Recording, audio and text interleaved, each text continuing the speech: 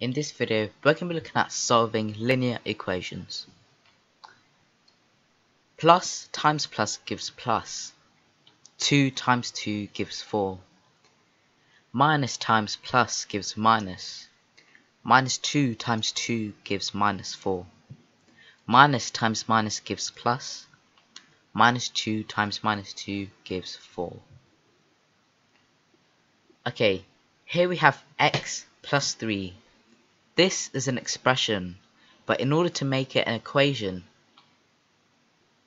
we have to have a balancing scale. So we can have equals, less than, greater than, less than or equal to, greater than or equal to.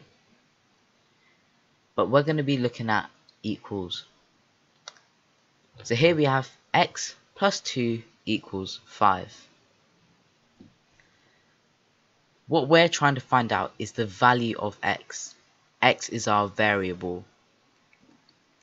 So in order to make x on its own, we have to move the 2 across.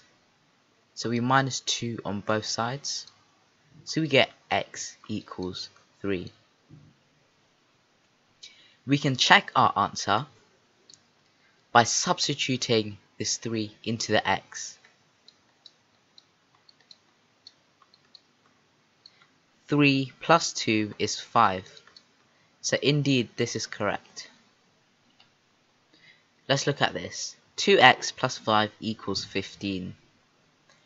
We want to move the plus 5 to the other side. So we minus 5 on both sides, giving us 2x equals 10. And then we want to get this 2 to there. So we divide by 2 on both sides. x equals 10 over 2. And we can simplify this to 5. We can check our answer by substituting the 5 back into the x. So we have 2, 5, plus 5 equals 15. 2 times 5 is 10, plus 5. And 10 plus 5 is 15 we know our answer is correct. Let's look at this. 2x plus 50 equals x plus 20.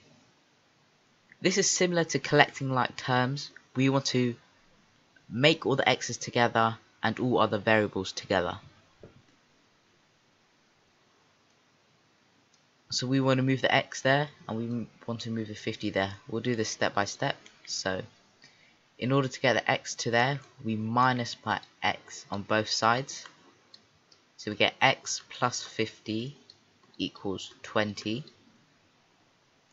And then we want to move this 50 to the other side. So we minus 50 on both sides. So we get x equals minus 30.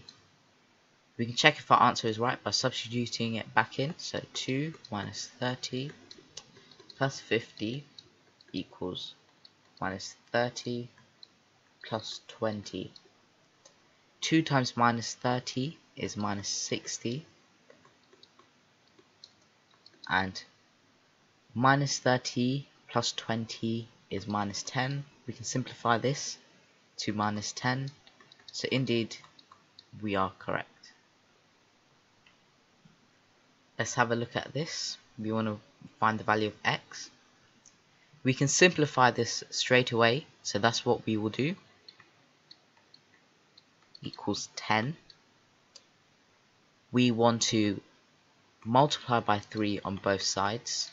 So we get 2x equals 30. And we want to divide by 2 on both sides. So x equals 15. And we can check it by substituting it back in.